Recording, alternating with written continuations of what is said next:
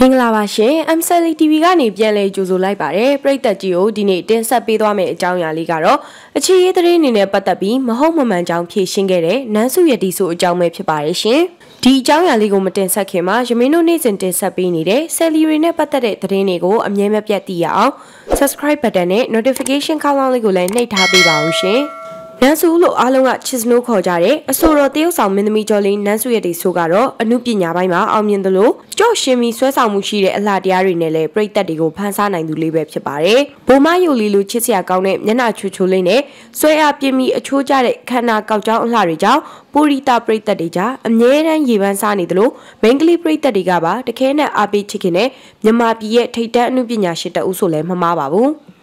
နန်းစုရဲ့ဒီဆိုးကတော့မော်ဒယ်တရုပ်ဆောင်တယောက်အနေနဲ့ဒါမကအဆိုတော်တယောက်အနေနဲ့ပါပြိသက်အားပေးချစ်ခင်မှုကိုရရှိထားသူတယောက်ပါ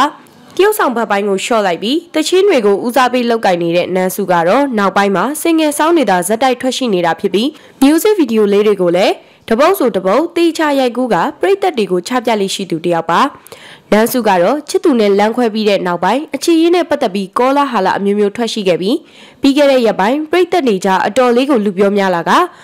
အွန်လိုင်းပေါ်မှာပြန့်နှံ့နေတဲ့သူများရီးစားကိုစနိုက်ကြော်တယ်ဆိုတဲ့သတင်းကိုပြန်လည်ဖြေရှင်းပြပြလာပါတယ်။အွန်လိုင်းပေါ်မှာပြန့်နှံ့နေတဲ့စနိုက်ကြော်သတင်းတွေကအမှန်မဟုတ်တဲ့အကြောင်းလေးတွေအဲ့ ဒီသတင်းအမှားတွေကလည်းတကယ်မဟုတ်တဲ့အတွက်သူမရဲ့အလုပ်တွေကိုလည်းမထိခိုက်သလိုဆိုင်လဲမဆိုင်တာမို့အချိန်ကစကားပြောသွားပါလိမ့်မယ်ဆိုပြီးနန်းစုလေးကပြောပြထားပါတယ်။ခုလိုကောလာဟာလာသတင်းတွေကတော့ပြောကြဆိုကြရေးကြတယ်ဆိုတာသူ့ဟာနဲ့သူရှိပြီးဒါတွေကအမှန်မဟုတ်ဘူးဆိုတာအချိန်ကစကားပြောသွားပါလိမ့်မယ်ဆိုပြီးရှင်းလင်းပြောပြထားပါတယ်။ရက်ထက်နှစ်ဖြစ်တဲ့ဖေဖော်ဝါရီ29ရက်နေ့မှာ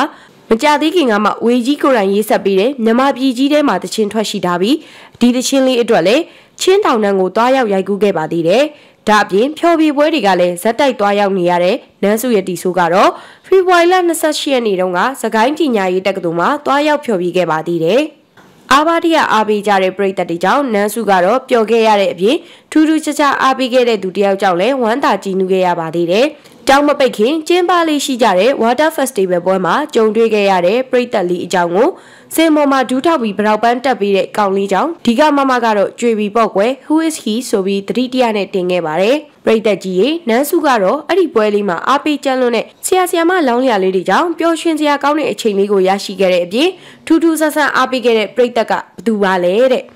သူမရဲ့တချင်းအသက်ဖြစ်တဲ့မြမပြည်ကြီးထဲမှာဆိုတဲ့တချင်းလေးကိုတော့အခက်ခဲတွေနဲ့ချင်းတောင်တန်းမှာတွားရောက်ရိုက်ကူးခဲ့တာဖြစ်ပြီးပျော်စရာခီးစဉ်တစ်ခုဖြစ်ခဲ့တဲ့အကြောင်းလေးတွေအမှတ်တရလေးတွေကိုလည်းပြောပြထားတဲ့ဒန်းစုအကြောင်းလေးကိုလည်းတင်ဆက်ပေးလိုက်ပါတယ်နော်ကြည့်ရှုပေးတဲ့ M Celebrate တက်ကြီးကိုထူးပင်ကျေးဇူးတင်ရှိပါတယ် M Celebrate TV ရဲ့ Subscribe button လေးကိုလည်းနှိပ်ထားပေးဖို့မမေ့ပါနဲ့အောင်နော်